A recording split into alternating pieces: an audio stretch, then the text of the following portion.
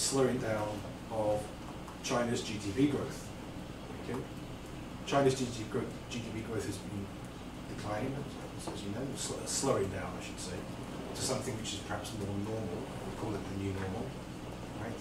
And with this, there's been a decline in the demand for inputs into the economy, particularly the commodities which Africa was precisely supplying to the Chinese economy. So this new, this new normal, uh, I don't really need to tell you this, of course, but it consists of these different, these three different um, stages or three ingredients, as it were. Um, and domestic consumption is now put forward as, as, as a, a, key element. Um, and this has meant a decline in exports to China. Okay, so we see here that Chinese exports, the blue line, has decreased since 2014, 2015. It's decreased quite substantially, slight uptick in 2017, but this is quite significant when you think that the, many African countries, their economies were very reliant on exporting to, to China. So as China tries to restructure its economy, its, its need and demand for a lot of the stuff which Africa is trying to, to sell to China uh, has gone into decline. And also, perhaps more importantly for the continent as a whole, um, apart from the bilateral trade figures, is the effect on the global economy and global commodity prices. And certainly what we've seen recently is a collapse, a major decline in global commodity prices across the board. And this is why it affects Australia as well as Africa and other, other parts of the world. All those countries which are reliant upon exporting their commodities to, to China have experienced uh, problems. Uh, as I mentioned, Africa is not unique in this sense. This has been made much worse by currently American-China trade tensions. Okay, uh, this has, has impacted upon commodity prices again. Mm. So America and China have these disagreements, but all the other economies, particularly in Africa, which are reliant upon primary commodities, they suffer as an indirect result of, of the conflict between Trump and, and Beijing. So, in actual fact, what we're predicting now is lower growth in, in Africa by about 2%.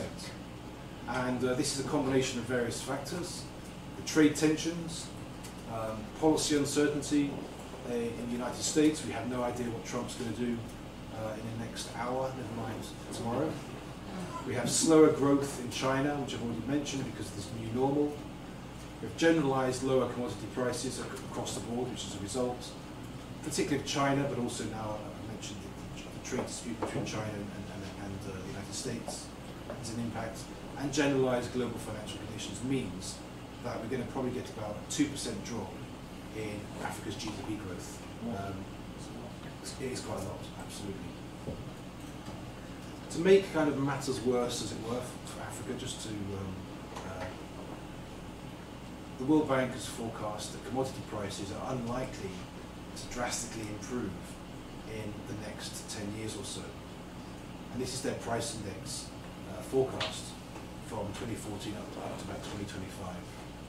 And one of the things you might, you might notice that all of the commodities, with the exception of timber, right, wood, is expected to fall. And of course, extraction of timber is not a sustainable uh, industry for African development.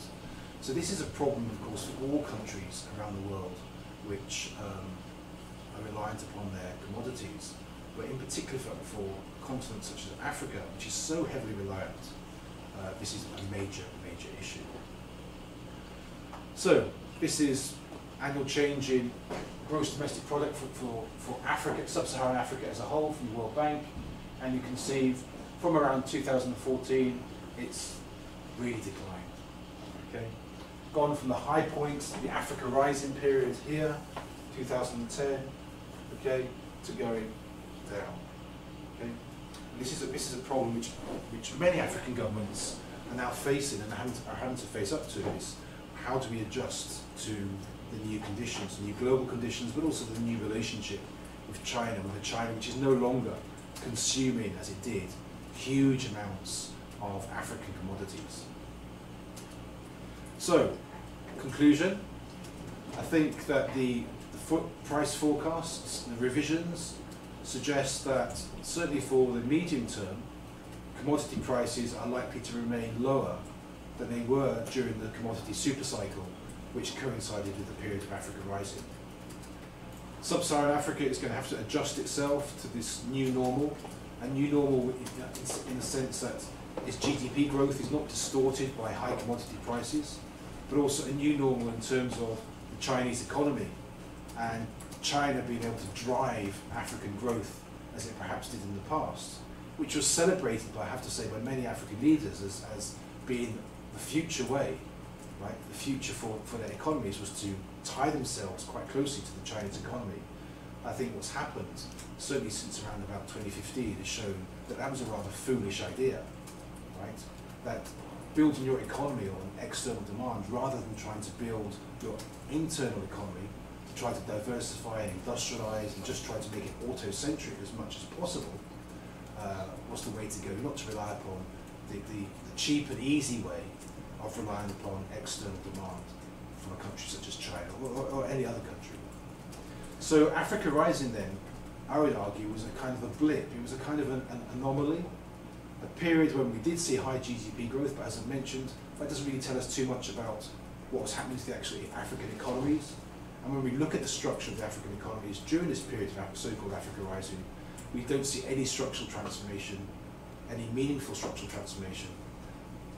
There was just, it was driven by external demand. And so what this means is, is that the post-colonial project, which people like Kwame Nkrumah, Patrice Lumumba, all the African heroes said back in the 1960s, that Africa had to be truly independent, had to be auto-centric, had to develop their own economies, to be industrialized, diversified, etc., not to rely upon the colonial powers, not to rely upon external demands, to try to change the relationship which Africa was inserted into the global system. These guys were talking about this in the 1960s, and we're now in 2019. The problem still remains that the vast majority of African economies have not followed through with what Nkrumah and others were saying they had to do in the 1960s. Uh, and they still remain very, very dependent upon external demand. What has changed, of course, is we've got a diversification of new actors, China, Brazil, India, whatever. But we have not got a diversification in terms of the economies. They've stayed the same. And this is the major challenge facing Africa. And I think that the Africa Rising story uh, demonstrates this quite clearly. So going back to The Economist, back in 2011, The economists was saying that Africa could be on the brink of an economic takeoff like China and India. Okay? Fast forward only four years, so it's not a long time. And you see now they're saying, oh well, you know, actually, nah.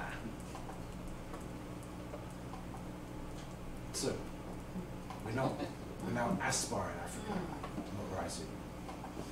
The Economist has again changed its tune, but I think what, what I've tried to show is that beyond the surface appearance of high GDP growth, which the media latched onto as, as somehow indicating the health of African economies.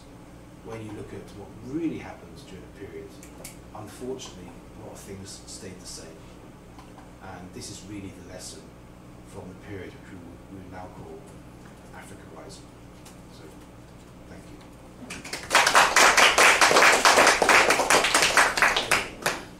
Well, we have a lot of time for discussion. I, I propose giving him an extra five minutes during the break. So yes. let's let's take a break for yes. ten minutes and then we'll come back. He needed. Yeah. very short break. Definitely, he. Okay. And, and if, you need some snacks, we can go next door and buy.